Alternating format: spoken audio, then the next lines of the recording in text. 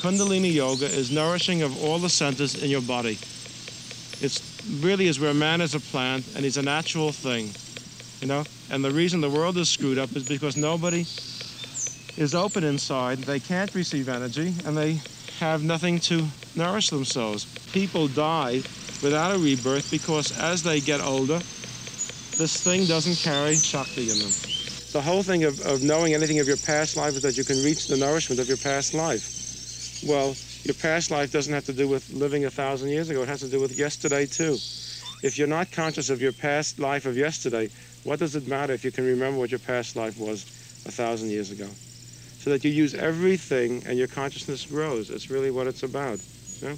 And you get as big a life, you know, out of it as you're able to hold on to inside. So that every, every experience, in a sense, you have one thread in here that goes from here right into paradise, another one goes up there.